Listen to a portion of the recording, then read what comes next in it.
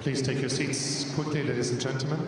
Thank you. Hi, guys, and welcome to OneMinuteTennis.com. In today's session, I want to talk to you about how to build up tremendous potential energy into your forehand and use a technique that the pros use to create this potential energy, which is then released and to create some more power and more speed on your stroke.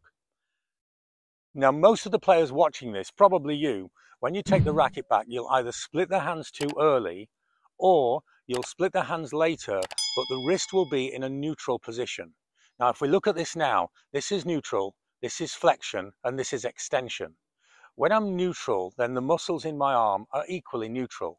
When I'm in flexion, they're actually very relaxed. But when I'm in extension, now suddenly all of the muscles are ready to help to contribute to any movement that I might make. If you think about this in everyday life, if you were pushing a car or a piece of furniture, then you won't push it that way. That would be absurd. You won't push it that way. You will push it this way. Extension gives a stable alignment of the limb and the hand and the arm, and it means that you have more inherent strength. So where does that apply to the forehand?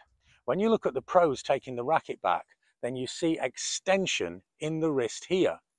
But the only trouble is if you concentrate on that, you're not going to be concentrating on the ball. So to help you find this, look for what I call the portrait position. So if I was hitting the ball in this direction here, then now I'm going to take the racket back and leave the offhand on the racket until the racket has framed the portrait of my head. If I look to the side, I'm in the portrait position. Oh look, if I'm in the portrait position, I have full extension of the wrist. From this direction, you might be able to see more clearly. So now, portrait position, full extension. When I have the portrait position, I have full extension.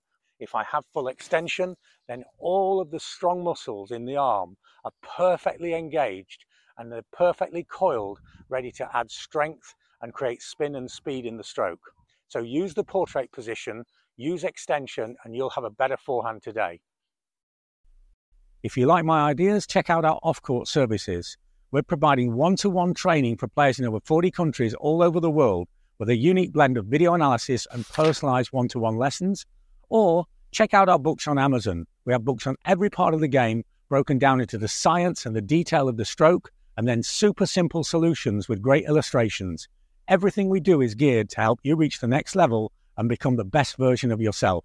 So don't just rotate as quickly as possible. This will just create spin without real penetration. Rotate quickly into contact and then try and hold the body into a more controlled position, and your arm will be thrown away through contact with the ball. You'll get more power, more spin, more control, and you'll play better tennis. Thanks for watching. See you next time for more unique tennis lessons that really work.